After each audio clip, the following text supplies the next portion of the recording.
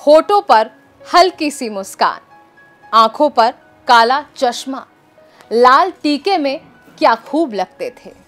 इनके सियासी गणित के लोग कायल हुआ करते थे। उत्तर प्रदेश के मुख्यमंत्री से राजस्थान के राज्यपाल तक सियासत भी की, लेकिन सियासी सुख नहीं मिला। इतिहास को कुरेदते हुए आपको अड़सठ साल पीछे ले चलते हैं और बताते हैं यूपी के एक ऐसे सीएम के बारे में जो गरीबी में मरा और यूपी में कांग्रेस बिखेर गया। नमस्कार, आप देख रहे हैं हमारी खास सीरीज़ किस्सा उत्तर प्रदेश के मुख्यमंत्रियों का।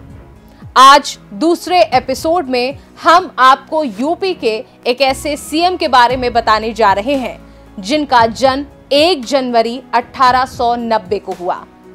इस बनारस ने यूपी के एक ऐसे सीएम को जन्म दिया जो यूपी को एक नया नज़रिया देने वाला था। नाम था डॉक्टर संपूर्णानंद।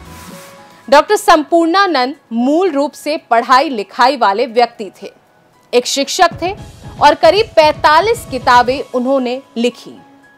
फिर दौर आया नौकरी करने का, जो थोड़े दिन ही चली, क्योंकि दिमाग में नौकरी पर दिल में सियासी संग्राम दौड़ रहा था। हिंदी और अंग्रेज़ी में मैगजीन भी निकाली। काशी विद्यापीठ में पढ़ाया, पर वो दौर नौकरी करने का नहीं था। स्वतंत्रता संग्राम चल रहा था और वो आंदोलन में हिस्सा भी लेते रहे। इसके बाद बड़े ही नैसर्गिक तरीके से वो राजनीति में सक्रिय हुए। फिर 1926 में वो कांग्रेस की तरफ़ से विधानसभा में चुने गए। इसके बाद 1937 में गवर्नमेंट ऑफ़ इंडिया एक्ट 1935 के तहत चुनाव हुआ। भारी असमंजस के बाद कांग्रेस ने चुनाव लड़ा और इसमें डॉक्टर संपूर्णानंद विधानसभा में चुने गए। फिर यूपी सरकार के शिक्षा मंत्री प्यारे लाल शर्मा ने अपने पद से इस्तीफा दे दिया। तो इनको यह पद मिला। बाद में गृह मंत्रालय और कर विभाग को भी संभाला। वो दौर भावनाओं का था। उत्तर प्रदेश के मुख्यमंत्री रहे डॉक्टर संपूर्णानंद कभी अपने चुनाव क्षेत्र में अपने लिए वोट मांगने नहीं जाते थे। अगर उन दिनों आज की तरह मीडिया का विस्तार हो गया होता तो वे ज़ाहिर आम चुनाव सभाओं की संख्या भी कम कर देते। दूसरी ओर आज कोविड के खतरे के बावजूद विभिन्न राजनीतिक दल बड़ी बड़ी चुनावी सभाएँ कर रहे हैं। सब जानते हैं कि उन सभाओं में कोविड नियमों का पालन होना लगभग असंभव है। दरअसल डॉक्टर संपूर्णानंद जैसे नेताओं को अपने काम, चाल, चरित्र और चिंतन पर पूरा भरोसा था। डॉक्टर संपूर्णानंद दिसंबर उन्नीस सौ चौवन में पहली बार उत्तर प्रदेश के मुख्यमंत्री बने। अप्रैल उन्नीस सौ सत्तावन में वह दोबारा सीएम की कुर्सी पर बैठे। संपूर्णानंद जब मुख्यमंत्री बने तो उन्होंने बनारस के गवर्नमेंट संस्कृत कॉलेज को यूनिवर्सिटी का दर्जा दे दिया और नाम बदलकर वाराणसी संस्कृत यूनिवर्सिटी कर दिया। उन्हीं की सरकार ने 24 मई 1956 को ऐतिहासिक बनारस शहर का नाम बदलकर वाराणसी किया। संपूर्णानंद सरकार ने सामाजिक और धार्मिक संस्थाओं में रिफॉर्म की कोशिश की। उनकी सरकार राज्य में गौ हत्या पर प्रतिबंध के लिए नियम बनाना चाहती थी। उस वक्त आरएसएस और जनसंघ इस मुद्दे को खूब उछाल रहे थे। हालाँकि ये मामला सुप्रीम कोर्ट में गया और बात आगे नहीं बढ़ पाई। संपूर्णानंद के पहले कार्यकाल में तो सब कुछ ठीक ठाक चलता रहा। लेकिन जैसे ही दूसरी बार कुर्सी संभाली, समस्याएँ खड़ी होने लगी।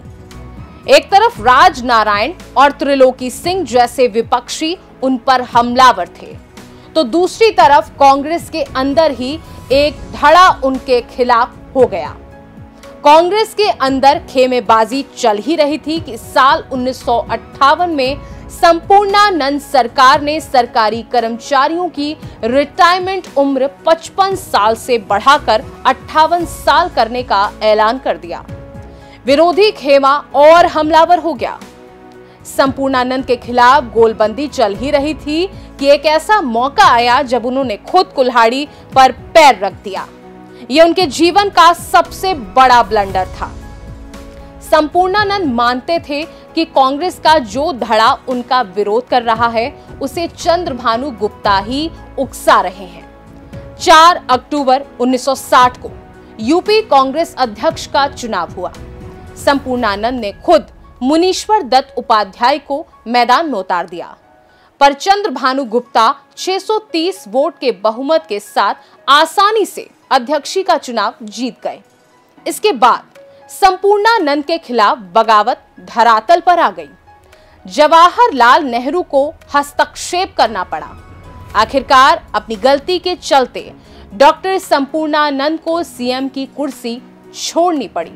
उनकी जगह चंद्रभानु गुप्ता को 7 दिसंबर 1960 को सीएम बना दिया गया। इस घटना के बाद डॉक्टर संपूर्णानंद ने राजनीति से संन्यास ले लिया। संपूर्णानंद जी ने 10 जनवरी उन्नीस सौ उनहत्तर को दुनिया को अलविदा कह दिया।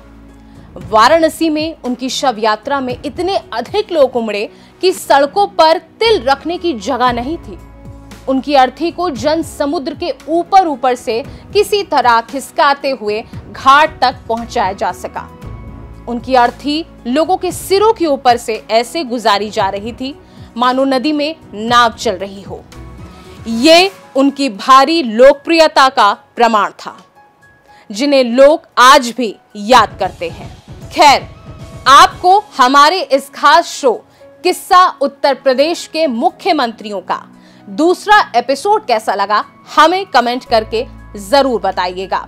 कल हम फिर हाजिर होंगे यूपी के एक और नए मुख्यमंत्री की कहानी के साथ। तब तक मुझे दीजिए इजाज़त, नमस्कार।